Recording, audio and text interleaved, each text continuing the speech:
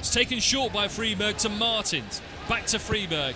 Into the near post. Valdez header! Goal! Nelson Valdez on his debut!